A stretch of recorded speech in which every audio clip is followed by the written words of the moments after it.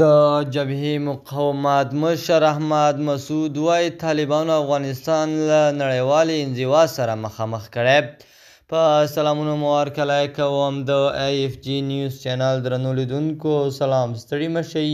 وخت مو په خیر پام مو راګرځوم د دې ساعت تازه او مهم خبر ته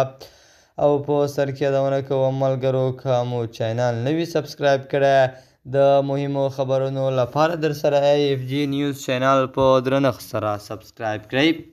د جبهې مقاومت مشر احمد مسعود وايي، د طالبانو حکومت افغانستان له نړیوال انزوا سره مخامخ کړی دی.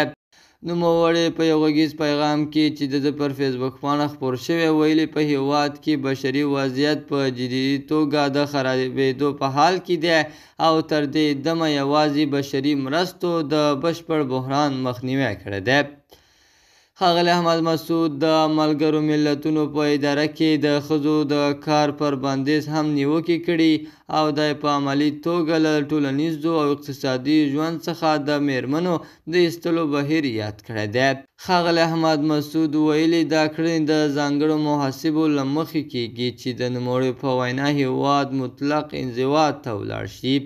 ښاغلي احمد مسعود دغه څرګندونې په داسې حال کې کړي چې تر دې مهاله هېڅ یو هېواد د طالبانو حکومت په رسمیت نه دی پېژندلی او په ګڼو ناستو کې د افغانستان په استازولۍ څوک نه بلل کېږي.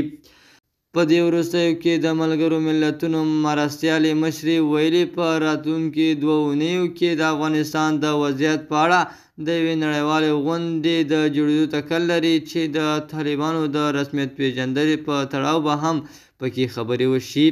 د آی اېف جي نیوز چینل درنو لیدونکو دا و زمونږ د دې ساعت چمتو شوی خبر تر بیا ښې چارې د الله په امان.